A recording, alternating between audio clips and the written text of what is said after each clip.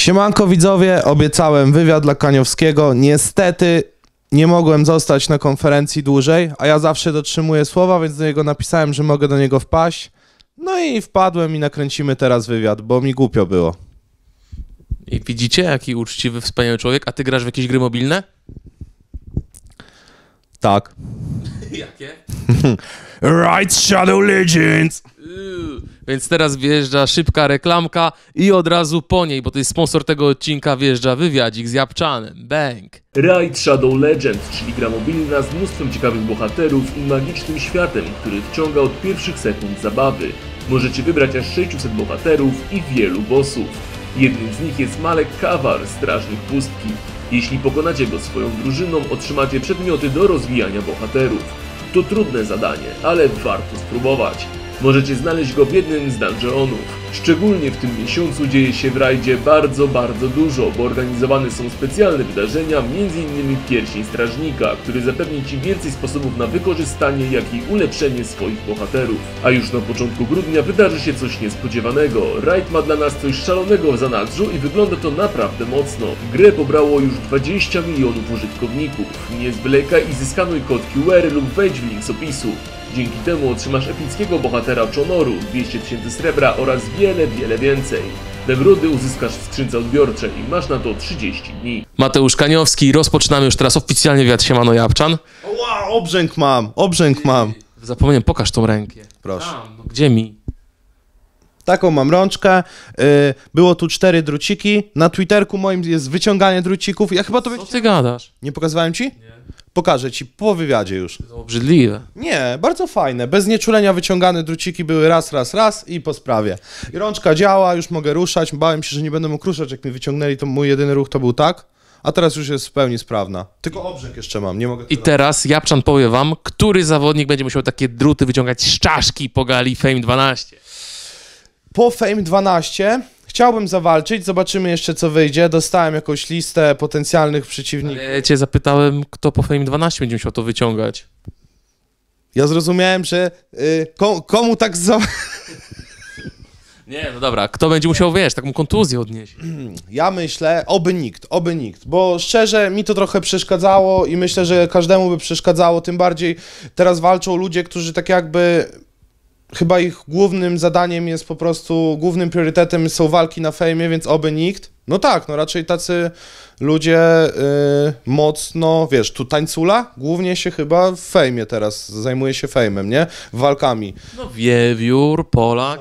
To też głównie zawodnicy Fame i tak jakby to jest taka ich, już można powiedzieć, że praca na etacie, tyle razy tam byli. E, mi się wydaje, moim największym e, takim faworytem jest Wiewiór. Ja Wiewióra od czasów, jak e, walczył z tym kulturystą, no to ja go lubię od wtedy. Też on się zadawał z moim kolegą z Paramaxilem, dużo miłych słów na jego temat słyszałem, sam z nim rozmawiałem, yy, widziałem ostatnio na swoim vlogu, bo ja wtedy musiałem pójść na pół godziny yy, zywy, że tak powiem, na, na tej konferencji. Yy, to widziałem właśnie, że Davidek podszedł do, do Wiewióra i zapytał, jak się obronić przed takimi kozakami, bo on kiedyś walczył z kulturystą, to go normalnie nauczył jakiegoś techniki, że przyciąga i kogoś dusi. Fajny gościu, lubię Wiewióra. A skąd się znasz z Davidem Tybijskim, zamydlemiarzem? Z Twitcha. ale to... Poznaliśmy się na Twitchu. E, było coś takiego, że ja mam streama, e, 30 osób na streamie u mnie, w sensie widzów, nie? I, I nagle dostaję jakiś, jakiś ten, linka na czacie, patrz co robi e, pojebaniec. I e, wchodzę na streama i widzę jak, wiesz, jak mm, chłop lat wtedy chyba 14, Robi świecę ze świecą. Wiesz, dostaje followa, czyli tak jak follow na Instagramie, nie że suba płatnego i on robi świecę. Dostaje drugiego oczywiście od razu, bo wiesz, bo tam ludzie wejdą z tako, żeby robi drugą i wiesz, robi świecę ze świecą na krześle. No i tam potem jeszcze jakieś nuty dziwne puszczał, śmieszne rzeczy robił. Hot 16 bodajże był mocny. Bardzo mocny, to chyba nawet Żabson, y, Żabson chyba wspomniał. Kubańczyk. Kubańczyk? Pamiętam jak Kubańczyk oglądał Hot 16 i się strasznie tym jarał. A Żabson chyba nawet podziękował w swoim Hot 16 dla Davida za nowina- nominację. Tak? Tak mi się wydaje. To jest do sprawdzenia, ale tak na 90% jestem pewny. No, David jest ten. A swoją drogą, to mogę zapowiedzieć, bo chyba nawet nie wiem, czy mówiłem. Może mówiłem. Nie. Y, nagraliśmy nutę z Davidem. Co ty gadasz? I David tam poleciał. Niesamowicie. Naprawdę. Ale z helikopterem czy bez? Y, Bez. Ale y, nie, nagraliśmy tylko piosenkę. Teledysku jeszcze nie mamy, dlatego wiesz, jeszcze tam jakoś tam. Nie, nie, lub, nie jestem fanem tego, żeby mówić, co będzie tak mocno, nie? Jak mówię, dobra, będę robił vlogi, no to sobie porobię i powiem to parę razy. A wiesz, często jest tak, że ktoś mówi, będzie to, będzie tamto, będzie tamto, potem tego nie ma. Ja wolę powiedzieć parę razy, raz, wiesz, takie pewne rzeczy. No i nagraliśmy nutę. Yy, Ja bym chciał jeszcze trochę się poprawić na tej nucie, miałem trochę chrypę. Nie wiem, czy będę jeszcze tam poprawiał, dogrywał, czy mi uda, uda się mój głos, wiesz, naprawić yy, mechanicznie. Ale David tam poleciał, yy, słuchaj, on swoją zwrotkę nagrał w 40 minut. Okay. Nagrał ją w 40 minut i ona jest perfekcyjna. A jak to jest współpracować z tak młodym człowiekiem? Super. Bo to jednak biznesy poważne, pieniądze, YouTube, internet, rozpoznawalność. Yy, Z Davidem się współpracuje fajnie. I dla mnie to jest taki synek internetowy, nie? No, jak on by mnie o coś poprosił, nie wiem, no to raczej na wszystko się zgadzam. E, Kupujesz mu alkohol w sklepie? nie. Nie prosi mnie o takie rzeczy, bo on jest grzeczny. Ale kiedyś tak mówię mu, masz szluga, no nie? I on tak odruchowo rękę wyciąga go po łapach. Wiesz, to ja, nie, nie, nie pali też.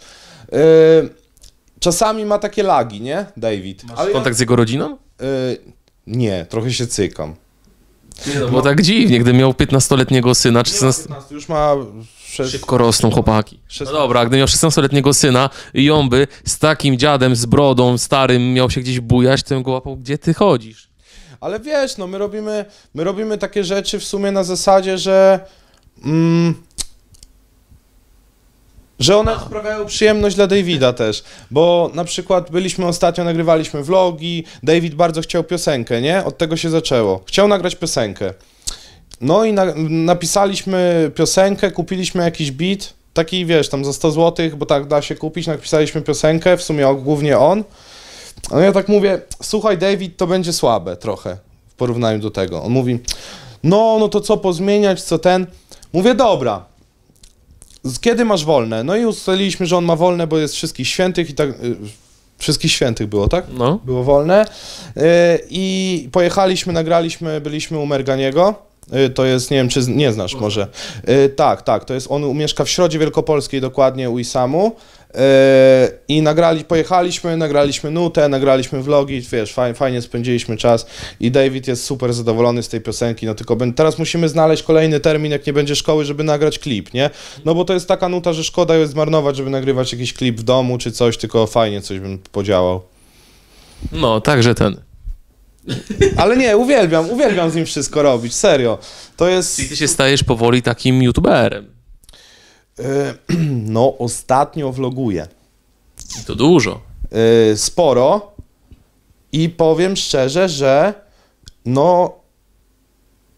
No fajne to jest, bardzo fajne. To jest Tam coś widziałem, nowego, coś nowego. widziałem, że ty w tych vlogach idziesz na Fame MMA i zaczepiasz potężnych zawodników, którzy chodzą w twojej wadze, na przykład bestie. Tak, zaczepiałem bestię, podszedłem totalnie na poważnie, wiesz, poważna mina, no nie? Wiesz, jestem dość wysoki, jak wciągnę brzuch, to nie widać, że jestem aż taki gruby. Nie, no nie widać w ogóle.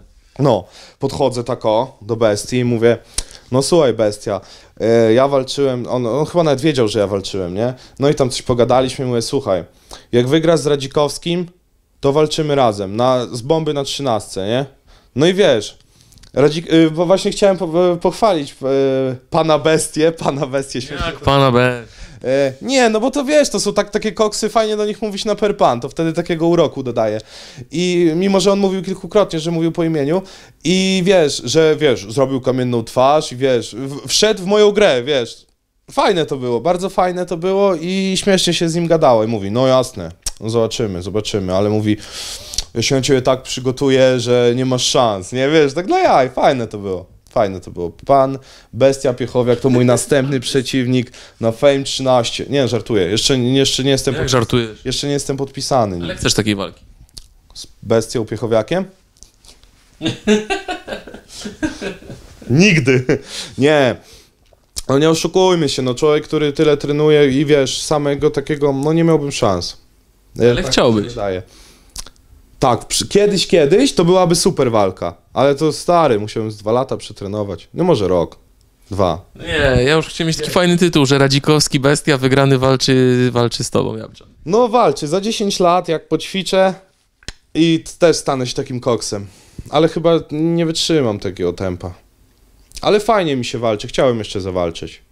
No i słuchajcie, ostatnio mieliśmy takie plakietki i ja miałem plakietkę dziennikarską i ona była w kolorze czarno-czerwonym, natomiast Japczan miał plakietkę w kolorze czarno-niebieskim, czarno-zielonym, gdzie było napisane zawodnik, więc to trochę zdradza.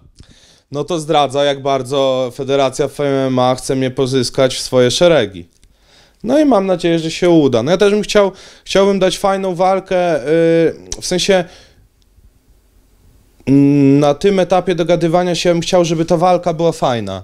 Żeby nie było czegoś takiego jak na przykład, no nie wiem, Błoński jest dość chodliwym zawodnikiem. Jakby walczył z Dubielem, dużo ludzi, mm, ja to nazywam taką publiką instagramową, ale to nie, nie, no po prostu wiesz, bo oni tam są bardzo popularni. Naprawdę dużo osób by się tym jarało, a na przykład walczy z tym Fitloversem i ta walka jest taka trochę przyćmia, przyćmiewa, nie? Yy, Przyćmiona. no, przyćmiona jest. I ja bym chciał po prostu taką walkę, żeby, żeby wszyscy na nią czekali. Nie dlatego, że ja jestem ja, tylko dlatego, że jest ta walka. Rozumiesz, że jest fajne zestawienie. Chciałbym Na przykład? zestawienie. Oj, kurczę, ciężko kogoś wywoływać, wiesz. Ja nie jestem jakimś tam zawodnikiem, więc mam ciężej, żeby kogoś znaleźć. Jestem dość duży, gruby. e, Nie no, jesteś chudziutki teraz. No, troszeczkę mi się schudło, to prawda, ale od walki mi się też troszeczkę przytyło, aczkolwiek do starej formy nie wracam. Myślę, że dwa tygodnie i zaczynam, wiesz, już trenować.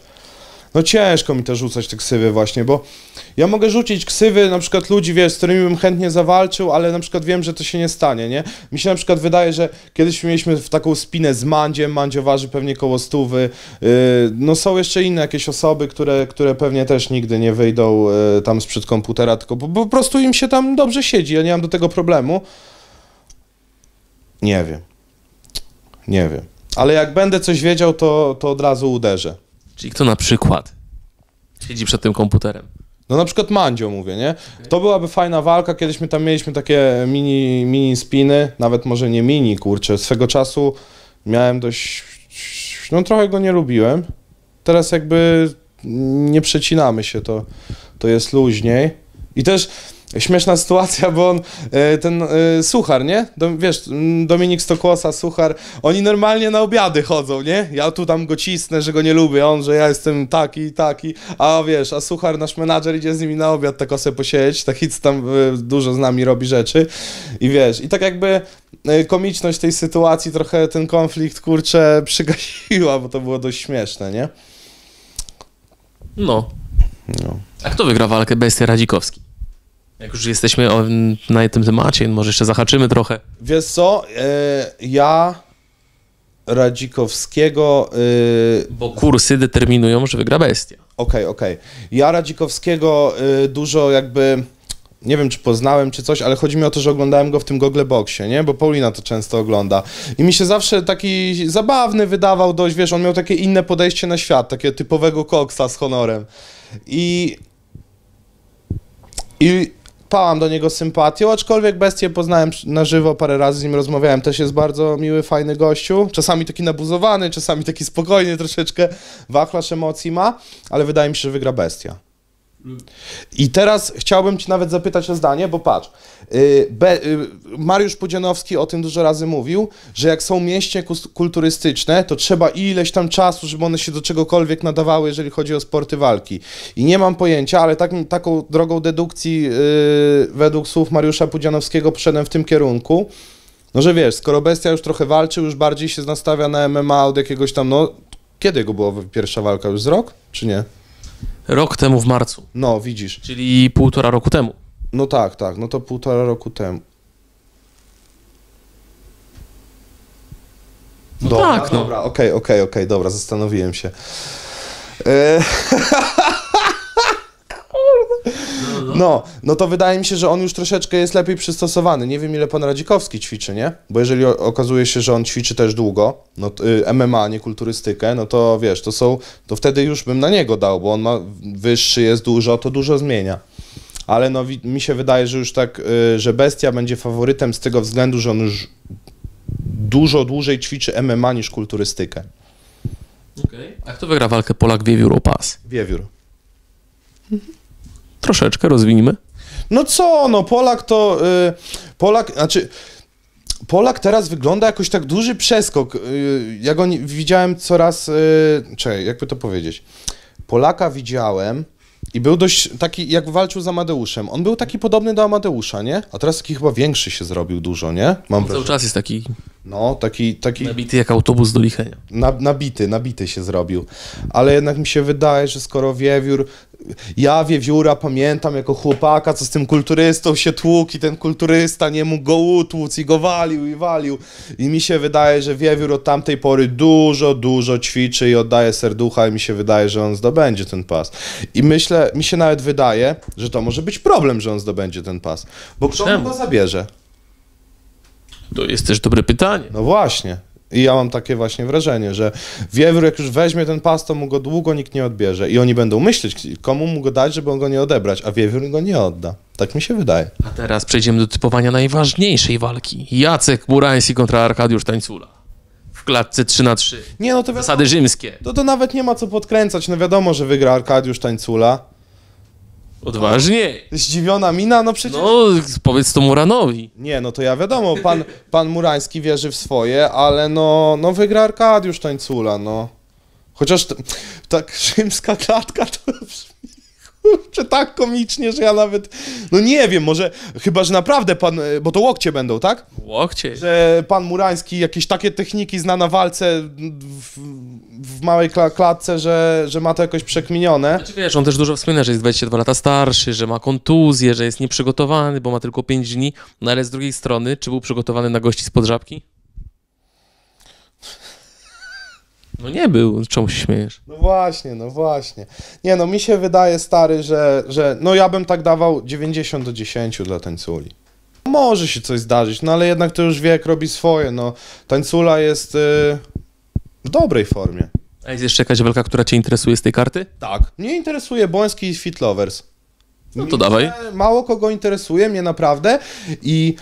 Mm, no i ten z Fitloversów, tak kurczę, oglądałem ten trailer, nie? I jak było taki moment tarczowania, że on coś tam uderzał chyba z dwa razy i On robił... jest wysportowany bardzo. Ja pierdykam, on jest jak błyskawica. To jest błyskawica Lovers. Y, Wydaje mi się, że jak Błoński go pokona, u, to się umocni mocno. Ale bukmacherzy chyba typują nawet... y, Tak, że on wygra? Zdecydowanie, ale na przykład ja na moim typowaniu, które zostało wrzucone wczoraj, a nagrywamy to dzisiaj, to zamieszany w czasie, obstawiłem na Mateusza. I mi się właśnie też coś wydaje, bo tam słyszałem na kuluarach jakieś ploteczki, ale cholera wie, czy to prawda, nie? No ale ten Fitlovers się dobrze rusza. Zobaczymy cię na 13 czy na High League 2? Nie wiem. Ja na razie stary, ja myślę, że i ci, że i i Heilig da, da mi walkę, nie? Tak, tak myślę. Tylko no ja cały czas szukam ciekawego przeciwnika. Nie, żeby było jakieś, kurcze, no z bonusem mi się wydawało, że ta walka to może być dziwny przeciwnik, ale to wyszło zajebiście w sumie, nie? Bo bonus naprawdę jest popularny. Wszyscy znają bonusa. Ostatnio jechałem, jechałem e, samochodem, stałem na światłach, jechaliśmy z Davidem chyba na myjnie i on chciał KFC. I stoję na światłach, gościu otwiera szybę i mi pokazuje szybę w dół, nie? Myślę, już kurwa, będzie coś pierdolił. A otwieram szybę, a on krzyczy tak. Kurwa, dobrze tego żula najebałeś, stary! Wiesz, taki napiany gość. Mówię, dzięki, mordeczko. Piany i był kierowcą? Nie, nie, nie, dwóch. Cztery, cztery osoby były w samochodzie, wiesz? On, on był jako ten, jako pasażer. I ogólnie dużo ludzi kojarzy mnie tylko z tego na ulicy, że pokonałem bonusa. Serio, kurczę. Zdarza się tak jedna na, na 10-20 osób, które do mnie podchodzi, tylko kojarzy mnie z tego, że pokonałem bonusa. To nie jest jakaś super statystyka. Nie no, dużo ludzi, wiesz. Jedna na 20? Ale jeżeli powiedzmy ludzi 20 plus, to 1 na 10, albo na 5 nawet może. No nie, może trochę przesadziłem, ale zdarza się często, bo wiesz, bo jak jesteś w jakimś miejscu ruchliwym, nie wiem, w jakiejś galerii czy gdzieś, czy na jakimś fejmie, nie? No to wiadomo, że cię ludzie kojarzą. A, ja, a czy ja tak dużo z domu wychodzę? No ja robię tam swoje i, i wiesz, i, i kurczę, jak już wychodzę, to albo idę do galerii, wiesz, coś kupić, albo, albo po prostu zostaję, jadę gdzieś na jakiś event i tam już mnie ludzie znają po prostu, no bo ludzie się interesują y, ludźmi z internetu, te, ci, którzy jeżdżą na jakieś Fame MMA, na konferencje, A, a jak już tak y, losowo na mieście kogoś spotkam, to często mi ktoś powie, że wow, zajebiście, że bonusa pokonałeś. A raz miałem nawet taką sytuację, że gościu mnie nie znał i ktoś z jego otoczenia, z jego grupy mnie znał i powiedział, zajebiście, że pokonałeś bonusa i gościu tak podjarany, że ja bonusa RPK pokonałem. To też była śmieszna. Ja mówię, broń Boże. No, bonus RPK, bonus RPK chyba teraz y, w więzieniu, nie? On taki wielki, zawsze wychodzi z więzienia. To nigdy w życiu. Ale mi i tak się wydaje, że najciekawsza walka to by była Tańcula Najman. Y, tfu, tfu, tfu, y, Muran Najman. Że zmarnowali trochę potencjał, bo jak pan Jacek Murański dostanie w W łeb... pierwszej myśli myślałem, że będzie Jacek Murański walczył z Popkiem i to mnie niesamowicie jarało. Tak wyciągnąłem z Jacka na poprzednim wywiadzie jeszcze przed tą konferencją na jedynce, znaczy na pierwszej konferencji dwunastki. Tak ci powiedział? E, powiedział mi, że to będzie osoba, która już walczyła w fejmie i która walczyła w zawodowym MMA. No i dzięki temu mogłem wyciągnąć pięć osób, a jeszcze więcej się powiedział, że to jest Judasz i przyjaciel Niewolskiego. Więc to już było pewne, że chodzi o Popka. Ja, ja aż tak się nie znam między przyjacielami Niewolskiego i tak dalej. No to to, bo jak powiedziałeś, że walczyła w fejmie i w zawodowym, to albo Najman by pasował, albo właśnie, no... Ale Najman nie jest przyjacielem Niewolskiego, którym jest Popek. Aha, to, to, to, to, to. Mówię ci, jak powiedziałem, że panie Jacku, mi to wychodzi na Popka, to on stał tak, a kto to jest Popek? A po chwili mówię, no jak, pan nie wie, on, a to ten Judasz, a wcześniej też powiedział, że chodzi mu o Judasza, więc to wszystko jest, wiesz... A, no wiesz, no mogły, mogły się pozmieniać plany, a mogło to być jakoś tako zarzucone, ale z, z Popkiem to dziwne. A czemu? A Nie fajne? Ja, nie, y, fajnie, ja Nie chciałbyś walczyć z Popkiem? Nie, ja jest straszny człowiek, ale ja bym w ogóle zobaczył Popka w fejmie, nie wiem dlaczego go nie ma. No Ostatnio. odpoczywa, Długo go nie ma, nie? no kontuzję miał. Tak? No to pamiętam, że miał kontuzję, ale to długo mu się zeszło chyba. To co? Walczysz z Bestią, z Radzikowskim czy z Popkiem? Z tobą, z tobą! Ty, A wyszedłbyś? z tobą? No po co? Podobnych gabarytów. No jak ty jesteś 30 kilo cięższy. No, ale jesteśmy podobnego wzrostu. Ja ważę 85, a ty? Ty, ty jesteś pewnie, ty byś mnie naklepał. Ty chodzisz, nie? Trenujesz. Nic nie wiem. Trenujesz sobie. Na pewno trenujesz. Za dużo się interesujesz tym sportem, żeby nie... Japczan powiedział mi, że chce pójść do WK wyciskać na klatę. Nie, powiedziałem, że mogę. Pójdziesz? Y... Ale przerobiłeś mój tekst. Przyznaj Jaki? Powiedziałem, że mogę, mógłbym. Powiedział, że może pójść do dzików na klatę. Y, bo ten, bo y, tutaj jest zawsze koszulka dzika, ja sobie tak podśmiechuję się, że a co ty tutaj masz i tak robię miny, bo my kiedyś... Ale zrobiłeś pauzę długą, masz się co ty chciałeś powiedzieć. Y, właśnie sam nie wiem już. I bo my kiedyś graliśmy derby na warszawskich koksów, na Twitchu w CS-a. Ja wtedy nie grałem, pojechałem do domu, mama mi coś chciała, ode mnie musiałem jechać paręset tam kilometrów. I... I ja nie grałem wtedy, ale chłopaki grali. Pamiętam, że se słuchałem e, w samochodzie, jak oni tam się strzelali. To śmiesz, śmieszne i teraz tak czasami zaczepiam, nie? Bo mi się kojarzy właśnie ta sytuacja. Nie, no mógłbym pójść do Warszawy. To może byś zawalczył z owcą. Z owcą? Warszawski kok. Ty, a, no, ty nie znasz się. Nawet nie wiesz, że jest y, podkrętka na walkę z owcą, ale u Holaka. My kiedyś żart, żarty takie były. Dobra, ja chcę twoją walkę. Moją walkę chcesz. Z owcą WK. No zawalczyłbyś czy nie? Daj kogoś podobnego do mnie, a nie taki chłop. No, no, z- podobny do ciebie masą. Ty też. Ja jestem 30 kilo lżejszy. Owca waży pewnie z 80 kilo.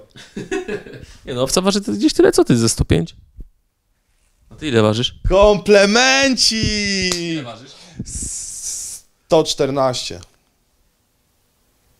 No to mówiłem, że trzy dychy jesteś cięższy ode mnie. Patrz, jak trafiłem w ogóle, tak sobie strzelałem tylko. W ogóle Mam koszulkę podwiniętą, stary. Kurde. To co, walczysz z owcą? Nie. No, a mógłbym. Kurczę, ja właśnie nie wiem. Ja muszę, ja muszę stary, ja troszeczkę mam takie rozmyślania, nie? Muszę wrócić do treningów. I wtedy już pewnie będzie mi... Czyli owca WK. Bestia, Popek czy Radzikowski? Najpierw pójdę wycisnąć do niego na klacie. Wiesz, wtedy on pomyśli, "O, co to za przyszedł tutaj wyciskać, wycisnął 50 kilo, nie? I, i, a tutaj hu, hu, hu, technika, partery i inne takie szmery. Na pewno, na pewno. Nie no. A owca, w, owca WK, owca... A ile on ma wzrostu? On jest wysoki. No, trochę niższy ode mnie. Okej, okej.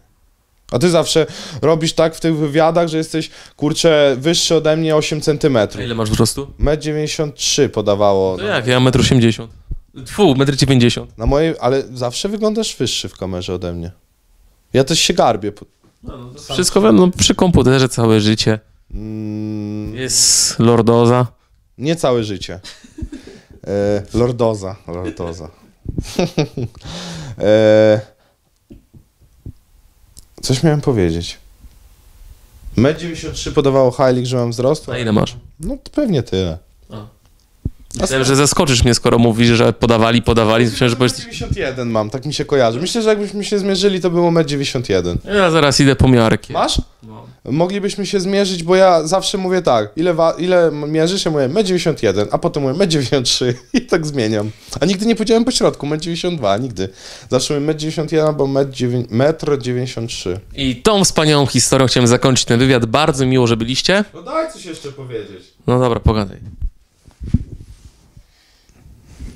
No tak sam z sobą. To niezły kulturalny wywiad. Dał mi mikrofon i kazał mi rozmawiać. Gadamy, gadamy, ile można gadać, 22.36. Już by chciał gdzieś pójść, pewnie się poszlajać. Widzowie, zostawcie łapkę w górę, a jak ktoś ma ochotę, to zapraszam do mnie na vloga. Często vloguję. A wiem, że miłe komentarze mi piszecie, to tutaj mogę powiedzieć, że robię coś na YouTubie. Jak miło piszecie, to może u mnie też miło napiszecie. Chcesz zakończyć wywiad? No zakończ ty, tak profesjonalnie. Razem ze mną był. Cap Kanioski.